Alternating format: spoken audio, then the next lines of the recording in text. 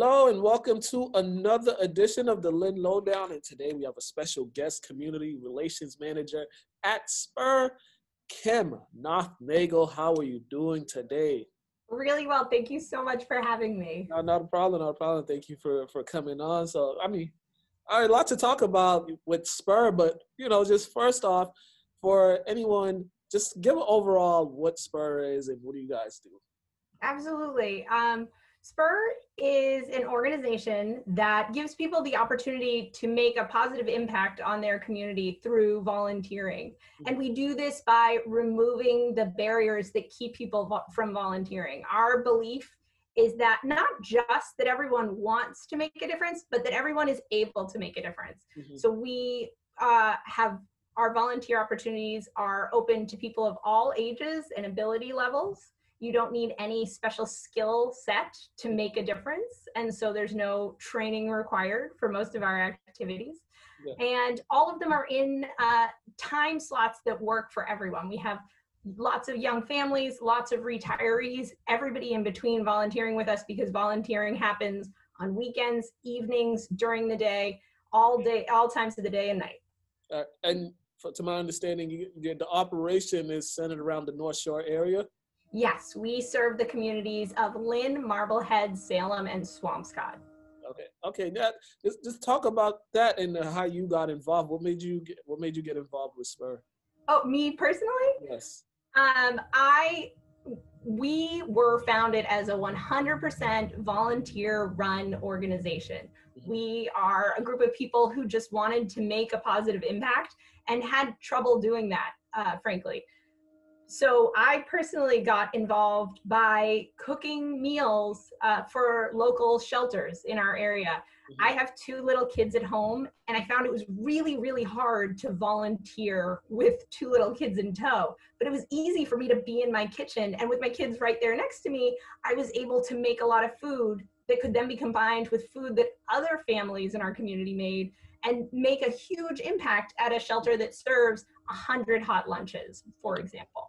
Yeah, and, and you know the, I know we got the my brother's table here in Lynn that you know that does so much work as far as providing meals for, for people. Um, can you just talk about what the, the work you you've done in Lynn? You said you guys got a lot of things coming up in Lynn. Can you just talk about before you get into the work you guys have coming up in Lynn? Just talk about some of the past work that you guys you guys have done in Lynn. Oh, absolutely.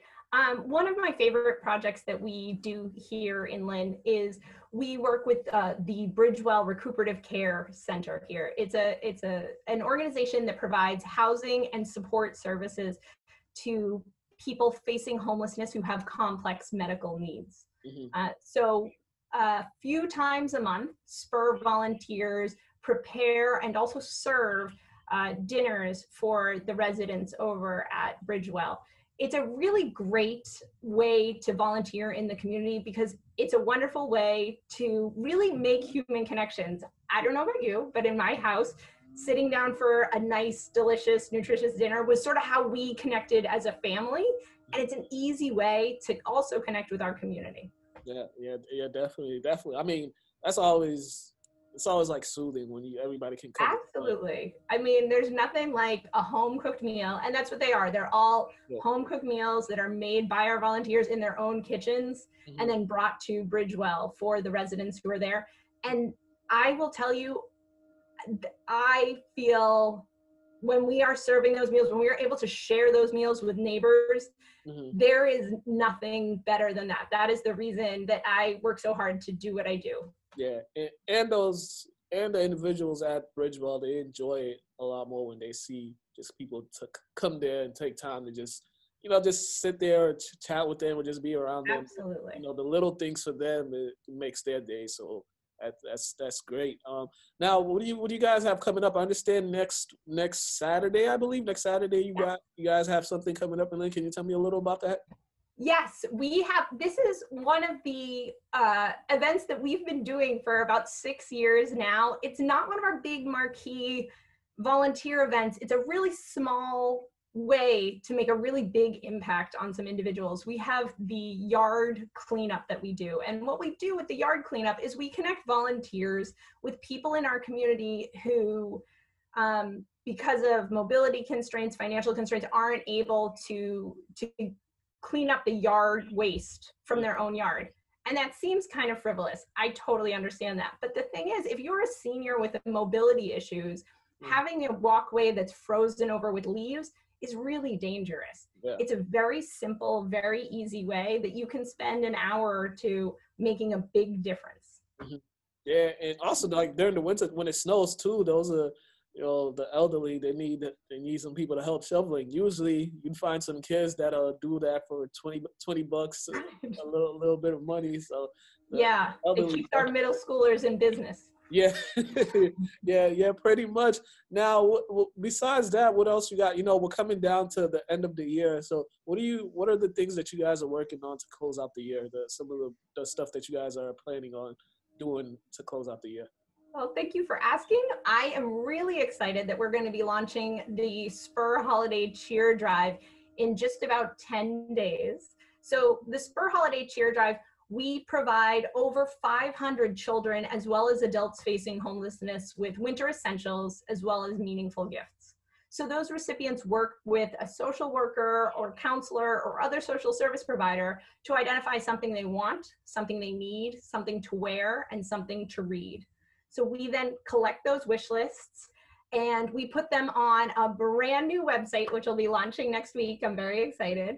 Uh, where from the safety of your home, you can browse those wish lists. Um, the reason that we have that is that we found a lot of times people want to sponsor a wish list that's the same age as a kid that in their home or a, a niece or nephew or a grandchild. Um, so you can search those wish lists by age, by a specific toy. If you're really looking to help someone who loves Legos, it's easy to search for someone who loves Legos. Um, or or by uh, if you're looking to sponsor an adult facing homelessness as opposed to a, a child in our community, you can also separate uh, those lists out as well. So you choose a wish list to sponsor. That wish list is then emailed to you, and you're free to do the shopping for those items as you see fit, whether that's shopping online or, or safely visiting local stores. Mm-hmm. Um, we then ask that you return those new unwrapped gifts to us by December 7th. And then we have a whole new volunteer opportunity that comes up after that. Okay. Um, we invite volunteers to come into our office starting on December 7th and they go through those bundles of cheer as it were. They make sure that everything is safe and cleaned appropriately that everything's age appropriate and new. And then they make sure at least one item from each bundle of cheer is wrapped. That may seem like a small thing but for little kids in our community having those new items is wonderful, but the excitement that comes with a wrapped gift of knowing someone wanted a surprise that's just for you is really a special thing to be able to share. So those volunteers wrap those gifts, they package them all up into a bundle of cheer, and then we deliver them to uh, the recipients in our community.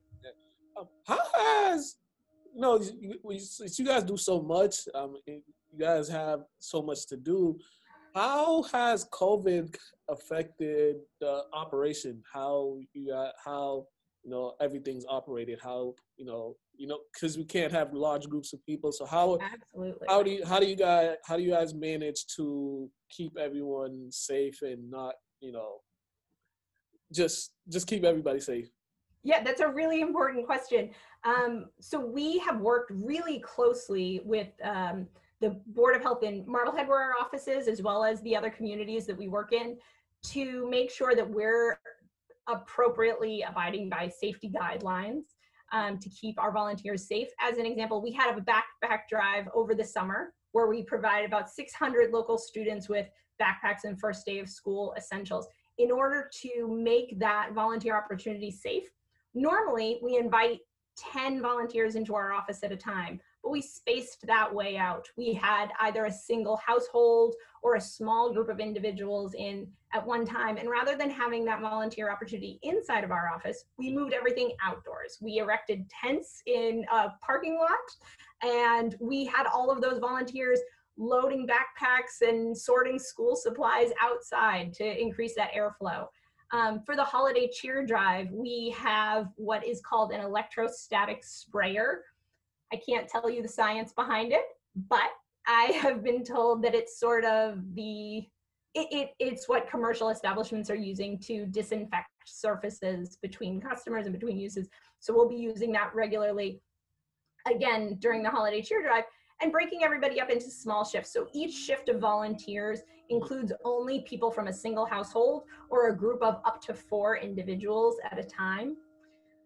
And between each volunteer shift, we'll be going through the entire office and sanitizing every surface that is touched.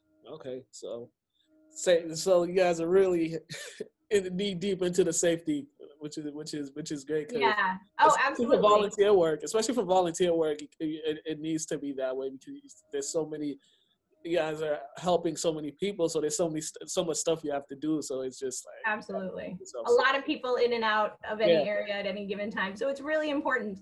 But a lot of our volunteer opportunities are very um, safe to begin with. We were following some social distancing protocols without even realizing it. Yeah. as another example we do a park and beach cleanup twice a year where we do about 20 to 30 sites between salem in the north and then lynn in the south. Okay and at our last one, we had 200 volunteers out at each of those sites. Mm-hmm. But again, picking up a park, uh, doing a park and beach cleanup, we're already outdoors, we're already social distancing. It's actually a really safe activity to do that makes a big impact on our community. Yeah, yeah, definitely. Now, just got a few minutes left. Now, any if anyone that wants to be involved, that wants to volunteer, help out in any type of way, please let them know where they can go and how they can possibly do that. Absolutely. So you can visit our website, which is www.spur.community. You can also find us on Facebook at Spur Community or on Instagram at Spur underscore good underscore deeds. Um, anything there, uh, any of those is a great way to get in touch with us. And our website for the holiday cheer drive will be launching soon, so keep an eye out for that. All right, definitely. And then next Saturday, tell tell them what the event is next Saturday. That's November 14th, I believe. Yes, November 14th is our yard cleanup. So we'll be visiting some homes in Lynn. We'll be bringing volunteers. We'll be cleaning up the um, yard debris that's uh, in their yards. And then on the 28th, we'll be doing it all again in Salem. Uh, so it's something that we're kind of doing regularly. And uh, we would love to see you there. All right. Kim, Thank you. Thank you. Well, thank you for coming on and thank you for sharing all that information with us. Continue to do the great work that you are doing. Well, thank you so much for having me. I really appreciate your time. Not a problem. You guys have been watching the Lynn Lowdown. I'm your host, Makala Kabongo. Have a great day.